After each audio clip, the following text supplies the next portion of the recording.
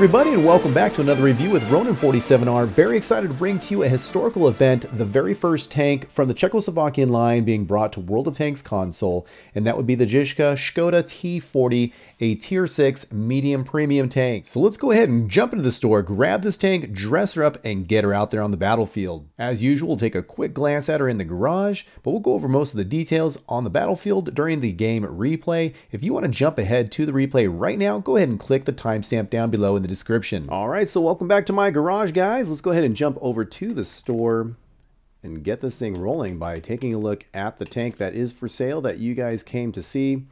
And there you go. It's the uh, Žižka Škoda T40, and it's in the Ultimate package. Kind of a historical thing here. This is the, well, gosh, it's the first time. It's the first tank that is being uh, brought to World of Tanks console for the Czechoslovakian line, which will be coming out uh, as a full line very soon. This is a tier 6 medium, and this package comes with the normal spattering of the uh, crew, the garage slot, various shells.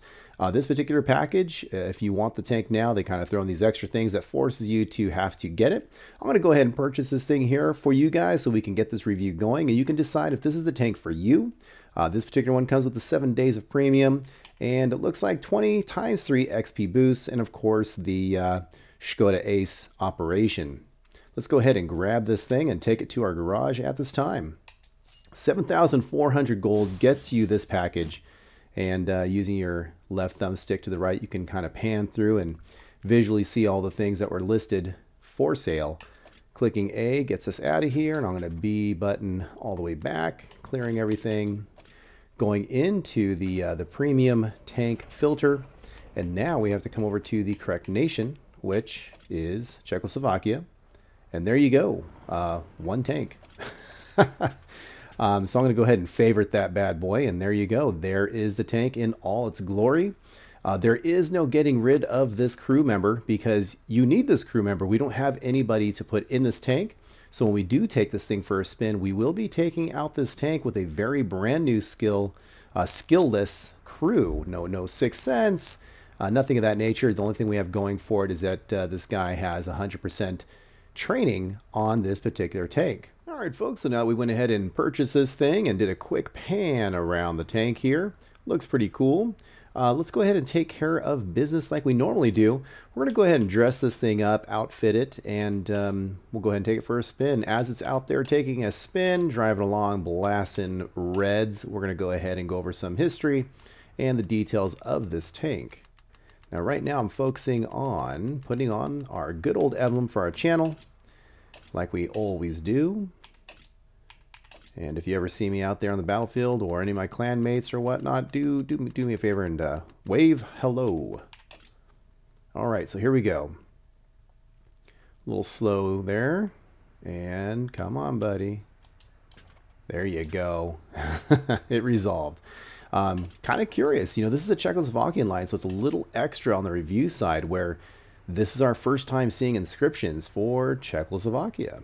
And uh, there you go. So kind of interesting. I wonder if this has to do with the uh, the king from the uh, the 1400s. I don't know. Don't know. Doing a quick pan through here for you guys. Interesting. All right, well, there's not too many to go through. I am not going to choose any today. I'm going to go ahead and leave that be. Camouflage is uh, built in there. It's kind of a hero tank theme, if you will, where you do not get to choose the camouflage. Positive there, again, is that you don't have to pay for the camouflage. Uh, the drawback, of course, is that you cannot customize your tank any more than the emblems. And just for kicks, let's go ahead and take a look here at that tank. Look at that, huh? That's pretty sweet looking. All right, folks, so as usual, we're going to go ahead and throw up some information here for you for historical purposes. You can rewind it, pause it, take screenshots. But we're going to go over in detail the data that's all about this tank during the replays. For now, I can tell you that the quick summary is, is that this tank is going to be very fast, on the move, slow to turn, very light armor, and the gun is really going to be its main characteristic that you're going to want to emphasize. Not quite a sniper, but not going to be a brawler either. So it's pretty evident taking a quick glance at the armor that this thing is not going to be very good at side scraping either. You're going to want to be definitely standoffish when you're fighting. Let's go ahead and equip this thing and get it going. All right, now it's time to go ahead and get underneath this tank and install some equipment here. So let's go ahead and do that now. I'm going to go with, uh, as usual, I'm going to go with some uh, ventilation here. I'm going to improve all of the characteristics that the uh, crew brings to the tank. Meanwhile, I'm going to go ahead and bring in the gun rammer here because I want to get my gun into the battle because this tank really has uh, the best attribute is the, the gun itself. Um, quite possibly I'll go with a GLD. Uh, you cannot run V-stabs, but with this particular tank, and we'll talk about it more during gameplay, I'm going to go ahead and for now bypass GLD, and I'm going to go ahead and put on the uh, Binox here. So there you go, fully equipped there. To jump onto the consumables. Switch this over to silver because I don't want to spend the gold on that. And I am to go ahead and put a lot here and a lot here. I'm probably not to run out of uh, ammunition. Um, but, you know, you are going to be going up against tier 8 tanks. So let's go ahead and kind of make it even Steven so I have plenty of choice. Meanwhile, I'm going to go ahead and again uh, emphasize my crew's ability uh, by 10% by putting on some consumable uh, food action here. I don't know how to pronounce that. Bukti, I don't know, but it is some sort of Czechoslovakian food, which is pretty cool. First time I've seen that because once again, we have a, a, brand new line that we're adding here. So uh, next on the list is the first aid kit, which I'm going to go ahead and put the, uh, the higher, more expensive one there because of the boost for the repair kit and first aid. And we should be set for the, uh, the consumables there for this tank. And there you go. All right, so I think we're set. We got to go ahead and set up this crew member here. Now I am going to go ahead and have him working on uh, camouflage for right now uh, because that is something that is going to be a little helpful and it's something that can be used as he is learning that skill. Once that skill is learned, we're going to go ahead and switch him over to Sixth Sense and we'll continue on with his training. And as a quick reminder, and because this is such a historical event, this being the first Czechoslovakian tank coming to World of Tanks Console Edition, I'm going to go ahead and capture for your viewing pleasure and for historical purposes all the information from the website, Tankopedia, and what have you. Sometimes this stuff changes over time, and if and when this tank is up for sale again, you're going to have a resource to come back to to see what are they selling it for now and what did they use to sell it for. Uh, sometimes they change prices over time. As a quick recap, also too, we've set up our tank to have the vents, the GLD, and the only questionable item is the binoculars. We may be switching out to GLD. We're gonna go ahead and take this thing for a spin and we'll figure out just how we wanna set this thing up. All right, so on to the replays we go, and you're gonna see a series of clips, some short bits, showing you many, many different scenarios that I took this tank through. Pay attention because some of them were uh, were pretty darn funny. And as promised, as you're watching these clips, I'm going to go ahead and give you some information on the tank, and then we're going to finish up. Uh, the last clip will be an actual game there where I did fairly decently. Alright friends, well the best place to start I think is probably the name of the tank, and of course the name of the tank is the Zizka. And uh, doing some research on this tank, I believe, I can't guarantee it, but it would appear that quite possibly a, a famous general from the Middle Ages uh, of the same name, Jan Žižka, uh, is perhaps the person that this tank is named after. Um, he was, I don't know if it's on purpose or accident, by Wargaming, but this uh, individual in the medieval times was known for having what they called tanks but it was really armored wagons. Uh, his troops would fight from behind or within these armored wagons. Um, and then he was also known for a certain strategy where he would set up a defense, um, launch some artillery or their version of artillery, instigate a battle, bring them in, and then he would go ahead and uh, counterattack. All right, so moving on to more uh, closer to the present, but still talking about history. In 1939, Czechoslovakia was invaded by Germany, and uh, that's why you see some technology shared between the two nations. Um, and when I say shared, I mean actually just taken by Germany. And um, you know, there are, I think there's about three more tanks in the German line that are actually Czechoslovakian in nature, uh, in design. Um, one of them, of course, is the T-25, which is a Tier 5 premium tank. And uh, I did a review on that, so you might want to look up that. But uh, they're all Skoda uh, in, in design. Now, as far as this clip is concerned, you can see I found a time-space continuum here where I can actually hover my tank in space. I thought that was kind of bizarre. All right, now as we get back into the tank details themselves, before I start spitting out a whole bunch of stats for you, let me just go ahead and give you a quick summary. And the quick summary is basically this. Um, this tank really needs to be played cautiously. Um, this tank can easily be penned. Uh, you're going to be going up against tier 8s. And for some reason, it's very often you're going to have your crews killed and your modules damaged. Uh, it's also uh, getting its ammo racked a lot. So uh, I believe that that is actually a common thing in the Czechoslovakian line, so we may want to keep an eye out for that. Um, also, something of note is that the traverse speed, the whole traverse speed is very slow. Sure, it goes fast in a straight line. This is not something you're going to want to get into a brawl with. Um, also, too, the accuracy of the gun is it's it's decent. It's middle of the road. It's definitely not a sniper. Um, but you can do some mid-range sniping, um, but it is kind of unreliable from that uh, from that area. You're going to also want to have a pretty darn good crew. Now, granted, you're going to be using this to train up crews, but I'm just going to let you know that this tank is going to behave and perform better with a better crew. It really needs that extra help. Now, in this clip, by the way, I thought it was hilarious. The physics totally trolled me. And I just, uh, you talk about the enemy rolling over you. This is absolutely what happened there. Uh, but getting back to the tank, um, you know, having this thing be so fast, you're going to want to use that speed to get into a position so that you can start spotting the enemy uh, and get into a good sniper position. Also, too, don't wait too long. Uh, allow yourself to use that speed to reposition as necessary. You're also seeing that in these clips, you have a good chance um, at lower tier tanks to ram them. It's a very heavy tank. A lot of the weight comes from the engine uh, in this tank. Um, however, you know, with the big flat engine deck, uh, this is an arty magnet and uh, it will attract shells. You will absolutely get leveled. But uh, this tank also does well when it comes to flanking and it's all about timing of when to attack.